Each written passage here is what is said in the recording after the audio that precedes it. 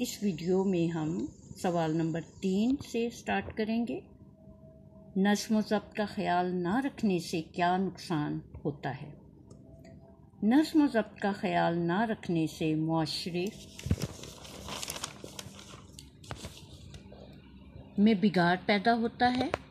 हर तरफ़ इंतशार और अफरा तफरी नज़र आती है।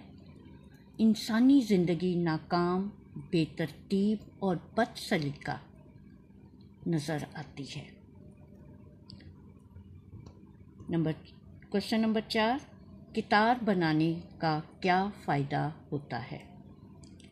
कितार बनाने से इंसान बहसो तकरार से बच जाता है, धक्कम पेल नहीं होती, लोग एक दूसरे से नहीं उलझते, चोट नहीं लगती। इसके अलावा कम वक्त में ज़्यादा काम हो जाता है और कामयाबी इंसान के कदम चूमती है। सवाल नंबर पाँच। कानून की अमलदारी से क्या मुराद है? कानून की अमलदारी से मुराद कानून यानी नस्म ज़ब्त पर अमल पैरा होना है। यानी हर किस्म के कानून को मानना और उसके मुताबिक ज़िंदगी बसर करना है। सवाल नंबर छः एक तालब इलम बेहतर मनसूबाबंदी से अपने शबो रोज़ को किस तरह संवार सकता है? एक तालब इल्म बेहतर मनसूबाबंदी से अपने शबो रोज़ इस तरह संवार सकता है कि वो नज्म ज़ब्त पर अमल करे, हर काम ख़ास तरतीब से करे, सुबह जागने, नमाज़ पढ़ने, वर्जिश करने, नाश्ता करने, स्कूल जाने, वापस आने, आराम करने, खेलने और काम करने के औकात मुकर्र करे तो उसे इम्तहान में कोई परेशानी ना होगी। सवाल नंबर सात, हमारा दीन हमें किस तरह नज्म ज़ब्त की तालीम देता है? इस सवाल का जवाब नज्म ज़ब्त के सबक, सफ़ा नंबर उन्नीस पर है। ये एक पैराग्राफ है और पैराग्राफ का शुरू है, हमारा दीन भी हमें। इसके बाद इसके आखिर, पैराग्राफ के आखिर में है। नस्म ज़ब्त का एहसास दिलाता है। वहाँ से आप इसको कॉपी पे कर लीजिएगा, फिर ये आपके सारे क्वेश्चन आंसर्स कंप्लीट हो जाएँगे। इसी मश्क का सवाल नंबर छः है मुतशाबा अल्फाज के जुमले, आरी और आरी। पहला आरी हथियार है।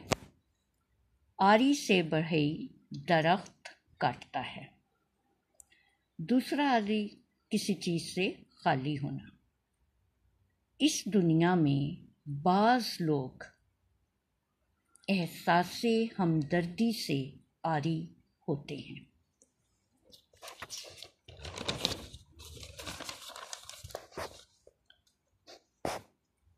सवाल नंबर आठ के जुमले।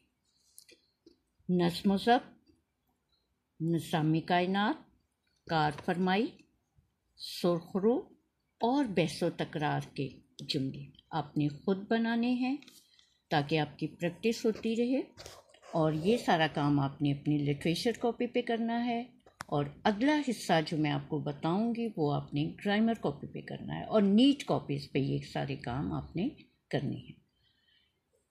ग्रामर का पहला क्वेश्चन जो है वो आपकी एक्सरसाइज के मुताबिक सवाल नंबर चार, वाहिद के जमा और जमा के वाहिद लिख वाहिद जमा, कायदा, कवायद। सबक असबाक। अब हैं जमा से आपने वाहिद बनाने हैं। मुफादात, मुफात। ख्वाहिशात, ख्वाहिश। सजूद, सिजदा। मुनासिर, मंसर। सवाल नंबर पाँच। इराब की मदद से तलफ़ वाज करें। नज़। पहला लफ्ज़, नज़। जब्त। अरबी। अरबी। शिआर। दर्श दर्श म मालिक त आलुक त आलुक तगैर तगैर तबदुल तबदुल निज़ाम सबक सबक मुताला मुताला इत्तिहाद इत्तिहाद इंतिशार इंतिशार वक्कार वक्कार अमलदारी अमलदारी।